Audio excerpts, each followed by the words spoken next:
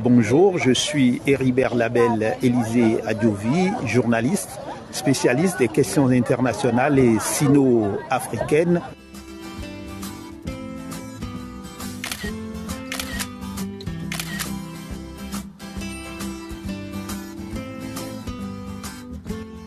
Nous sommes ici au bâtiment 15 de la diplomatique résidence Compound, ce que je peux appeler la zone résidentielle des ambassades.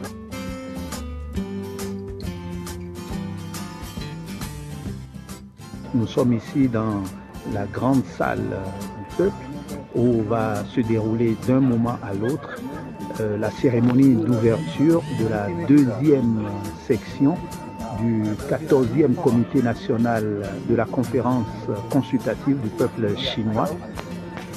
Les bonnes choses vont démarrer d'un moment à l'autre. Pour le moment, les uns les autres sont en train de, de s'installer. Vous voyez un peu comment ça se passe autour de moi. J'aurai l'occasion, autant que faire se peut, de vous faire vivre l'événement. Nous sommes à la fin de la cérémonie d'ouverture de la deuxième section du 14e comité national de la conférence consultative du peuple chinois. Je suis ici avec un, un, confrère centrafricain qui va se présenter. Je suis Patrick Mogani, journaliste, directeur de publication du journal Le Potentiel centrafricain.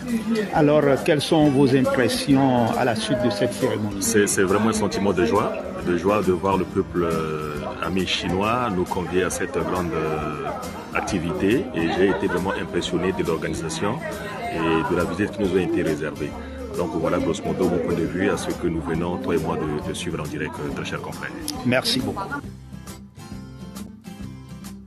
Après l'ouverture de la session de la conférence consultative politique du peuple chinois, Héribert Label Élisée Adjovi, responsable du magazine béninois Les Labels Diplomatiques, a recueilli les propos de ses confrères africains sur ce qu'ils pensent de deux sessions leur regard sur la démocratie à la chinoise ainsi que leurs attentes sur la coopération sino-africaine.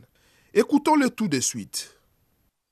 Madame, Monsieur, bonjour. Je suis Héribert Label Élisée Adjovi, journaliste, spécialiste des questions internationales et sino-africaines. Je suis avec euh, une consoeur. Elle va se présenter elle-même et donner ses impressions. Bonjour, je m'appelle Marie-Christine Bonan. Je suis camerounaise. Je suis là justement dans le cadre de, ce stage qui est organisé par le CIPCC.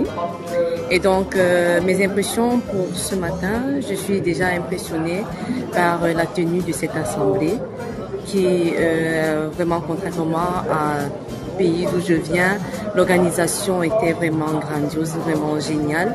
Alors je suis Sabrina Massima euh, du Gabon. Euh, en effet, comme le, disait euh, Élisée à l'instant, on vient d'assister à cette session extraordinaire euh, du Parlement chinois. Euh, en quelques mots, ce que j'ai retenu, c'est que le secteur euh, privé aujourd'hui est un grand apport dans tout ce qui est enjeu politique, enjeu économique aujourd'hui en Chine. Donc le secteur privé contribue beaucoup à l'économie chinoise. voilà. Je suis Monsieur Khalidi Sami, journaliste algérien au quotidien El Moujad.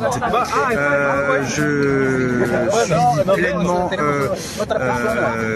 convaincu du fait que de l'importance aussi de cet événement qui est qui est stratégique aussi pour le peuple chinois et honoré d'y participer. Plusieurs thématiques ont été en l'occurrence abordées et, euh, y participer est aussi un moyen de, euh, de marquer aussi euh, notre amitié pour la Chine, son histoire et aussi son système démocratique qui est très intéressant à découvrir.